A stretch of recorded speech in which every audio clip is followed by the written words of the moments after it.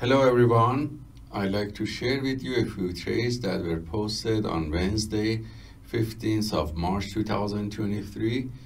These few trades were shared by MG, who's trading the Dow Jones Industrial Average in form of CFD using a Forex broker and a macro of one hour.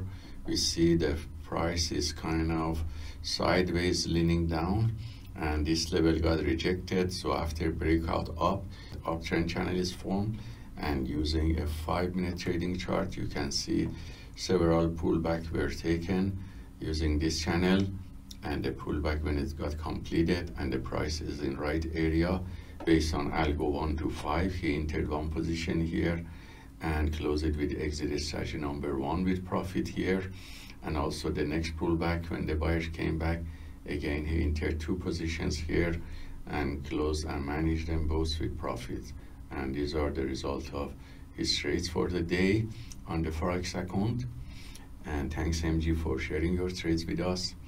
The next few trades were shared by Jan, our global instructor, who's trading NASDAQ in form of futures. And as you see, the macro of hourly and 10 minute charts is in uptrend, but now there's a pullback here and while the price was going up he took long position on this uptrend channel using 10 second trading charts against the 2 minute trading chart. And when the price got rejected and the pullback started to happen he traded the reversal and take short positions on this downtrend channel. And we can see the result of the day. For all his trades was profit factor of 1.96 with the average win rate of 61 percent an average win to loss ratio of 1.24 and the largest winning trade was $205 and the largest losing trade was $109 so thank you Jan for sharing your trades with us.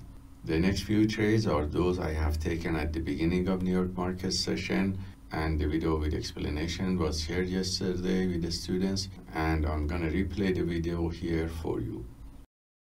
Hello everyone, I'd like to share with you a few trades that I have taken at the beginning of New York market session on Wednesday, 15th of March 2023. These trades were taken on micro and also E-mini futures of Nasdaq and Russell.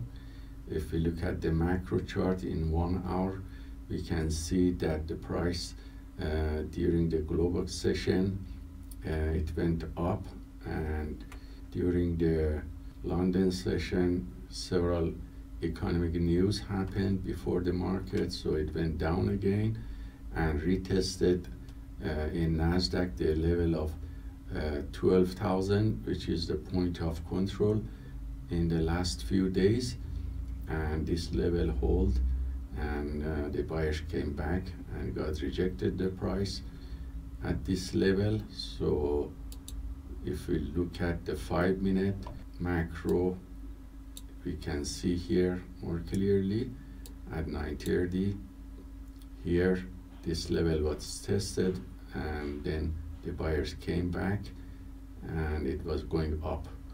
So when the market opened it went up all the way. So therefore this was opportunity to take the pullbacks and take long positions around this candle that opened at 9.30 and this candle and this candle. So it was very choppy. You can see large shadows and we don't recommend under high volatility. Novice traders to trade this market. Uh, so I took long positions here again long positions here which are these candles and finished around 10 o'clock. Also took long position that, that became runner on Russell and close it around 10 o'clock.